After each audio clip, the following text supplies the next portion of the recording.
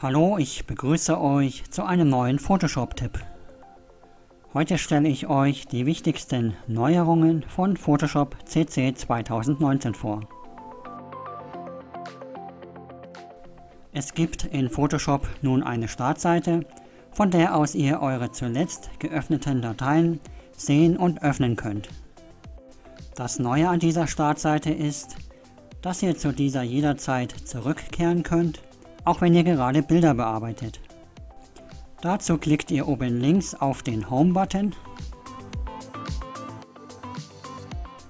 Wenn ihr dann die Bildbearbeitung wieder fortsetzen wollt, dann klickt ihr einfach wieder oben links auf das Photoshop-Icon. Um diesen Startbereich zu erhalten, müsst ihr ihn in den Voreinstellungen aktiviert haben.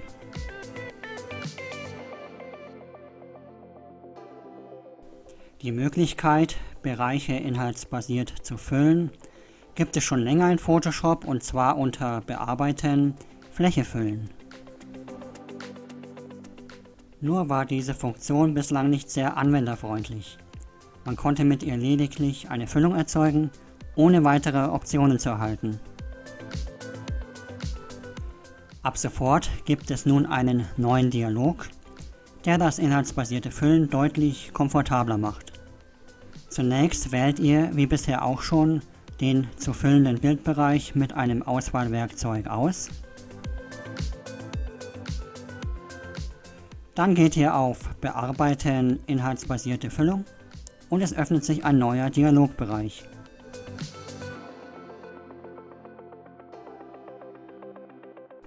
In diesem seht ihr in der Mitte links euer Dokument mit der Auswahl und einer transparent grünen Fläche.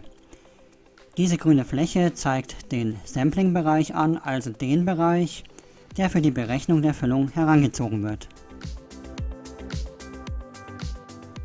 Rechts daneben seht ihr eine Vorschau, die anzeigt, wie sich die getroffenen Einstellungen auf die Füllung auswirken.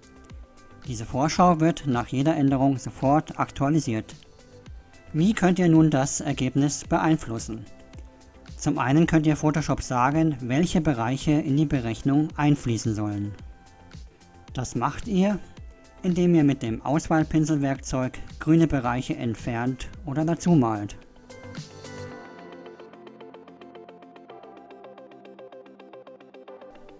Außerdem könnt ihr auch eure Auswahl weiter verbessern, und zwar mit dem Lasso-Werkzeug.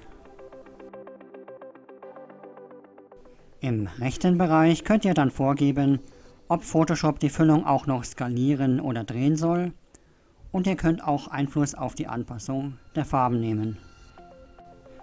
Diese Funktion basiert übrigens nun auf Adobe Sensei, Adobes Plattform für Maschinenlernen bzw. künstliche Intelligenz. Das Rahmenwerkzeug wird euch sofort vertraut vorkommen, wenn ihr auch mit InDesign oder Illustrator arbeitet. Ihr erzeugt damit einen Rahmen bzw. Platzhalter in Photoshop, in den ihr dann beliebige Bilder platzieren könnt. Das Rahmenwerkzeug soll Layout-Aufgaben vereinfachen, wie das Gestalten von Screen Designs. Die Bedienung des Werkzeugs ist ziemlich einfach. Zunächst zieht man damit einen rechteckigen oder einen runden Rahmen auf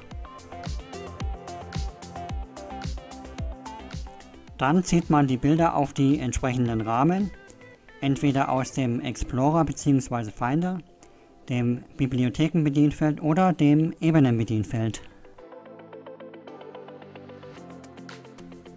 In Rahmen können nur Smart-Objekte platziert werden. Zieht ihr eine Pixelebene in einen Rahmen, wird diese automatisch in ein Smart-Objekt konvertiert.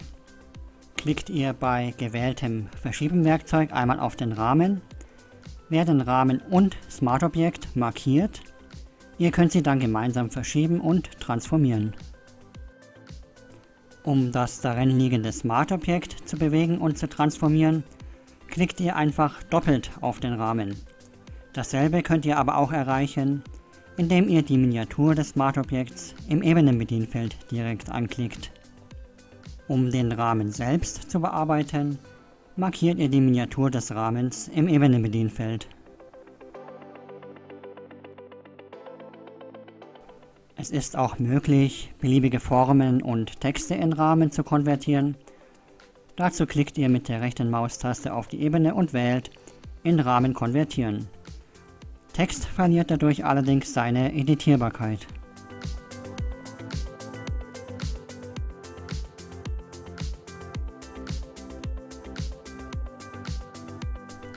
Eine neue Ausrichten-Funktion macht es möglich, nun auch gleichmäßige Abstände zwischen unterschiedlich großen Elementen herzustellen. Die bisher integrierten Verteilen-Funktionen waren mit dieser Aufgabe immer überfordert, da sie sich bei der Berechnung an der Mittelachse bzw. den Kanten der Elemente orientierten. Bei unterschiedlich breiten Buttons führte dies dann dazu, dass zwischen den Elementen ungleichmäßige Abstände entstanden.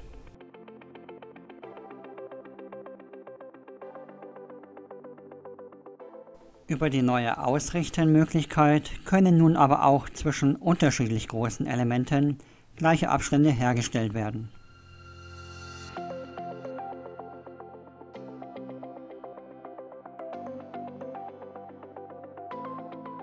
Das symmetrische Malen ist eigentlich keine richtig neue Funktion. Sie wurde in Photoshop CC 2018 als Technologievorschau eingebaut und nun ist aus ihr sozusagen eine offizielle Funktion geworden. Diese steht bei den Pinsel- und Buntstiftwerkzeugen zur Verfügung und wird über einen Button in der Steuerungsleiste, der wie ein Schmetterling aussieht, aktiviert. Nach Klick auf den Button richtet ihr zunächst eine Symmetrieachse ein, danach werden die Pinselstriche entlang bzw. in Relation zu den einzelnen Achsen aufgetragen. Hinzugekommen ist nun auch noch die Möglichkeit, Mandalas oder radiale Gestaltungen zu erstellen. Diese war bislang versteckt und konnte nur durch eine gezielte Umbenennung der Ebenen aktiviert werden.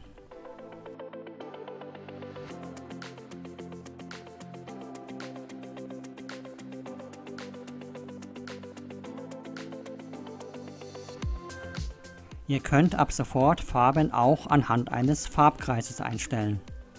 Diese Option erhaltet ihr über das Bedienfeldmenü des Farbe-Bedienfelds. Über den äußeren Kreis wählt ihr zunächst den Farbton. Die endgültige Farbe definiert ihr dann über das innenliegende Dreieck. Bewegt ihr euch entlang der linken Achse, ändert ihr die Sättigung. Entlang der unteren Achse ändert ihr die Helligkeit und entlang der linken Achse stellt ihr einen Graustufenton ein. Genau gegenüber einer Farbe befindet sich übrigens immer deren Komplementärfarbe. Ab sofort braucht ihr keinen Taschenrechner mehr zu bemühen, sondern könnt die Werte auch über die Eingabefelder von Photoshop ausrechnen lassen. Unterstützt werden die Grundrechenarten, also Addition, Subtraktion, Multiplikation und Division. Ein kleines Beispiel.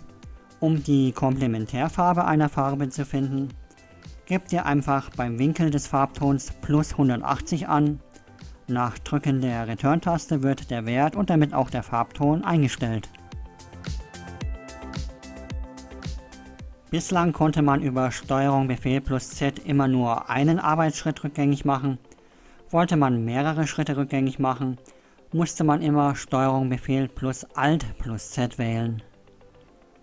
Ab sofort könnt ihr über STRG Befehl plus Z beliebig viele Schritte rückgängig machen, so wie es auch in jedem anderen Programm der Fall ist. Über STRG Befehl plus Alt plus Z könnt ihr nun zum letzten Stand, also zum letzten Schritt im Protokollbedienfeld zurückkehren. Den letzten Schritt wiederherstellen könnt ihr über STRG Befehl plus Umschalt plus Z. Eigentlich unverständlich, dass hier nicht wie bei anderen Programmen der Shortcut Steuerung Befehl plus Y reserviert wurde. Wenn ihr mit dem neuen Rückgängigverhalten nicht einverstanden seid, könnt ihr das bisherige Verhalten wiederherstellen. Dazu geht ihr auf Bearbeiten Tastaturbefehl und aktiviert das Häkchen bei herkömmliche Tastaturbefehle für Rückgängigmachen verwenden. Wenn man bislang zum Beispiel Ebenen transformierte Dokumente freistellte oder Texte bearbeitete, musste man die Operation immer durch Drücken der Return-Taste oder durch Klicken auf den Häkchen-Button abschließen. Ab sofort genügt für das Abschließen ein Klick auf die Arbeitsfläche. Bislang musste man immer die Umschalttaste gedrückt halten, wenn man Elemente proportional transformieren wollte. Ab sofort erfolgt das Transformieren standardmäßig proportional und man muss die Umschalttaste gedrückt halten, um nicht proportional zu skalieren. Komischerweise werden Formen aber nach wie vor standardmäßig und proportional skaliert. Das dürfte aber nicht so gedacht sein, sondern einfach nur ein Bug. Für erfahrene Anwender bedeutet diese Neuerung schon eine ziemlich große Umgewöhnung, denn das Halten der Umschalttaste für ein proportionales Skalieren hat sich über die Jahre hinweg einfach als starke Gewohnheit manifestiert. Und hier frage ich mich, warum man den Anwender nun dazu zwingen muss und keine Möglichkeit anbietet, das alte Verhalten beim Transformieren beizubehalten. Der Referenzpunkt wird nun standardmäßig ausgeblendet, kann aber manuell über die Steuerungsleiste aktiviert werden.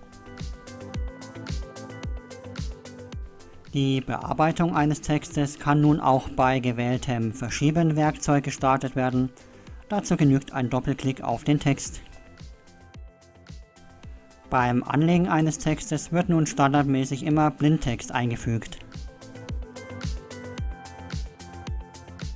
Die Wirkung von Füllmethoden kann nun dank Live-Vorschau schnell ausprobiert werden.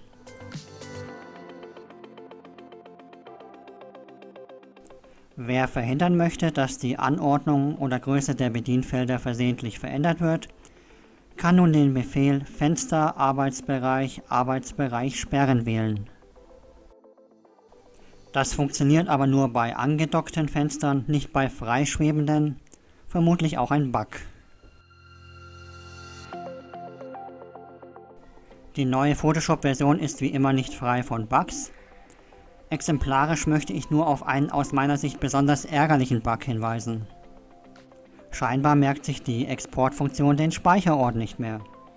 Ein Kernnutzen dieser Funktion ist damit einfach nicht mehr vorhanden und ich hoffe, dass dieser Bug schnell beseitigt wird. Wer sich also einen Export-Workflow aufgebaut hat, sollte die alte Version auf keinen Fall deinstallieren, sondern bis zum Beheben des Bugs mit dieser weiterarbeiten. Wie ihr gesehen habt, wurde der Schwerpunkt bei diesem Update einmal mehr auf die Optimierung der Benutzerfreundlichkeit gelegt bei den neuen Funktionen handelt es sich eigentlich um Dinge, die man entweder schon länger gekannt hat oder die man auch mal nebenbei in kleineren Updates hätte einführen können. Ich habe aber auch einen Verdacht, warum dieses Update eher klein und unspektakulär ausgefallen ist. Adobe hat nämlich angekündigt, im nächsten Jahr Photoshop als Vollversion, ja ihr hört richtig, als Vollversion aufs iPad zu bringen und da werden wohl im Moment alle Ressourcen benötigt, um dieses große Projekt möglichst fehlerfrei an den Start gehen zu lassen. Das ist aber reine Spekulation meinerseits, ich habe da keinerlei Insider-Informationen. So, das waren also die wichtigsten Neuerungen von Photoshop CC 2019. Ich hoffe, ihr fühlt euch durch dieses Video gut informiert und würde mich freuen, wenn ihr es weiterempfehlt und meinen Kanal abonniert. Auf Creative Aktuell habe ich alle Neuerungen noch einmal in Textform zusammengefasst. Danke fürs Zusehen und bis zum nächsten Mal.